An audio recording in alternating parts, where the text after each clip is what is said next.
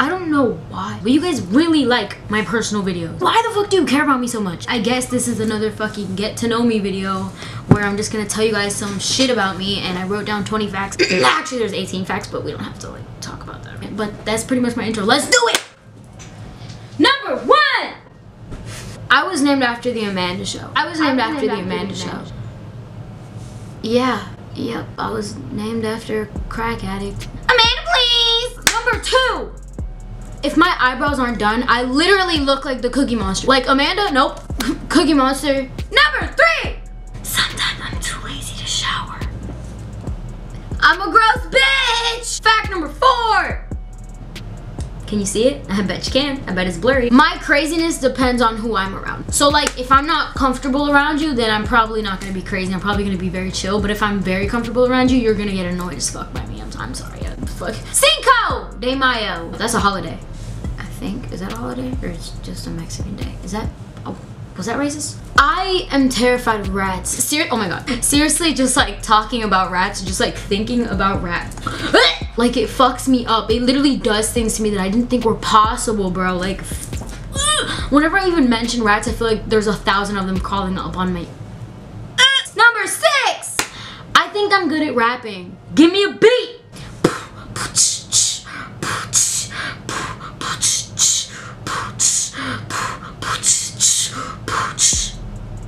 I think I'm good at rapping. You might just catch me spitting, but never ever slipping. But no, like on all seriousness, I think I'm good at rapping. Like rather it be like writing raps for myself about my own personal life or ghostwriting for somebody else. Like I like I made a song like first okay like I'm gonna I'm gonna rap oh, okay I'm gonna like genuinely rap a little bit for you guys okay so fucking feel special because I don't rap for nobody I made up this rap about a suicidal man who was saying he was suicidal who was saying that he was suicidal who was saying that he is suicide who is saying that he is suicide why can't I say suicidal who is saying that he is suicidal in a song. For some reason the first person that popped into my mind was Eminem. I don't know why but um let me just rap the song to you guys I guess. This is this has nothing to do with me. I just want you guys to know that this has nothing to do with me.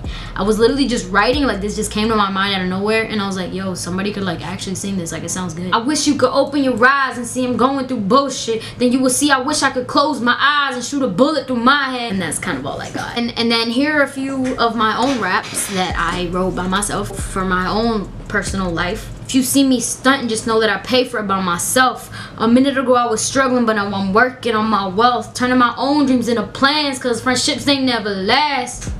I don't know. And this is the longest rap that I've ever written. Like the the, the, the, the rap like this is the rap that I think I could actually like make into a song, but I'm not sure yet. I don't I don't know if I like it yet. These are honestly just like things I'll never finish writing. I've been done wrong so many times, I'm immune to it. So many chances that I give, but people still do it. It's whatever at this point, I mean, I'm used to it. All the bullshit, all the fake shit, I'm oblivious. And shit be from the last person you expected it. Your loyalty, I respected. My loyalty, you took advantage. My love, you took for granted. You didn't realize what you had until you no longer had it. But I don't give a fuck, yo, and that's official. With your feelings, they careless, so fuck that I'm selfish. When people claim they love you, that shit's artificial. But fucking you over, that was their initial. Watch out for the lies written between the lines. Especially the ones who claim they ride with you till you die. And now when people talk, I pretend to listen. Cause I know how people coming and I know their missions. And then they ask me why I'm heartless like they ain't the reason. Yo, that fake shit turned me into a demon. And when God sends some real shit, I'll be so blind I won't even see it. But even blood does you wrong, yo, I can't believe it. Yeah. There's a lot more, honestly, but I, I I'm just that's that that. But yeah, that fact is over. I think I'm a good rapper. Just so you know, just so you know, I'm fucking conceited, bitch. Number seven. I know it's an eight, bitch. I'm just trying to be funny. I am not an affectionate person. I'm really not an affectionate person. Me and affection doesn't mix. I don't know why. I don't. I don't know why. I don't know why. I'm just like not affectionate like i i'll hug people and like and shit but like i'm not affectionate. Like i don't hug people to let them know how much i love them. I just don't i, don't i don't know. I don't know. Stop me fucking heartless okay? I'm sorry. Number eight! My favorite color is periwinkle. What is periwinkle you might be asking or you already know? Well i'm about to fucking educate you. You know when you see a color and you're not sure if it's blue or purple? Or you see a color and some might say that color is blue or some might say that color is purple. Put it together, bitch. Periwinkle. It's periwinkle. Wait, I have a jacket that's periwinkle. I'm gonna show you. Periwinkle. You see it? It's not blue. It's not purple.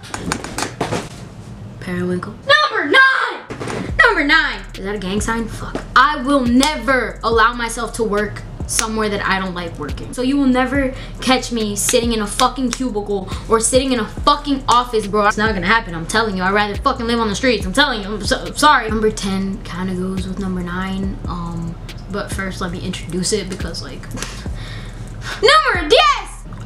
number 10. I'm afraid of failure. Self-explanatory, I, I'm afraid of failure. I don't really have to go into detail about this one. I'm just afraid of failure. Number 11. My socks are really dirty. Ew. I pick my wedgie at least 10 times a day. I mean, I just can't help it, okay? Just get stuck up my butt. Fact number 12. I hate people that ease you or compare themselves to you. If you don't know what ease means. I hate people that ease you or compare themselves to you.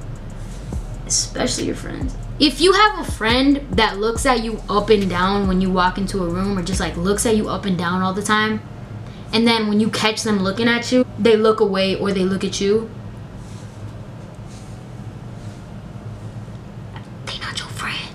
I'm just being truthful. I'm just being truthful. Fact number 13.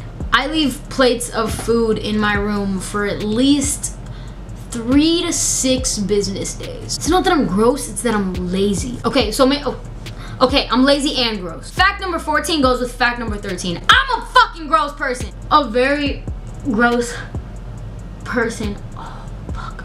That was a good one. What was it say? Number 15. I don't really want to talk about this one because it is literally 1 a.m. right now and I don't want to talk about this. And I'm going to be scared after saying this, but I'm just going to say it anyway. I'm a pussy, so I'm like very scared of paranormal shit. That was, oh my god, I farted and it smells really bad. my farts don't usually smell. What was it say? Oh, I'm very scared of paranormal shit. Like anything that has to do with like ghosts or like fucking demons. I, oh, oh, eh! Who said that? I'm not talking about that. I like I love scary movies and shit, but I can't watch scary movies because I feel like it's gonna happen to me. You feel me? But yeah, now you know. I'm gonna get a little, just a little bit deep with number 16. Just a little bit. I don't think I'ma still be friends in five years with the friends that I'm friends with now. And to be honest, I don't really care. Number 17! Oh, next. My age. Number 17! I'm 17. I'm 17. I'm about to be 18. Um, I don't know how to not curse. Like, I've tried not cursing, but I don't know how to not do that. I'm pretty sure I've been cursing since I was like seven years old. And it's, it's, I, I learned it from somewhere. I don't know where, but I learned it from somewhere. I don't, I don't even realize I'm saying. Oh my God. I got scared by a lizard, guys. It's outside of my window. Numero 18. I could watch Law and Order all day. I'm not joking. I'm not proud of it. Like, I, I know I'm serious though. I could like watch Law and Order all day. Probably rewatch every episode of Law and Order probably at least five times. Do you think I'm joking? Do you think I'm joking about how obsessed I am with this show in the criminal justice system? Sexually based offenses are considered especially heinous. In New York City, the dedicated detectives who investigate these vicious felonies are members of an elite squad known as the Special Victims Unit. These are their stories. Ding ding! Okay, you guys, so that was it for this video. I hope you guys enjoyed. I'm just, just, you know, get to know me, ho. Get to fucking know me, bitch. Now you know me just a little bit more. And I hope you like that. I hope you enjoy this video or whatever. And, oh, I almost forgot. Thank God I remembered, bro, because my camera's about to die. But, um, I never tell you guys my Instagram or any of my social medias. I think I think it's time. I think it's time. I think it's time. And you guys are always asking me for it. So I'm gonna tell you guys. My Instagram is yo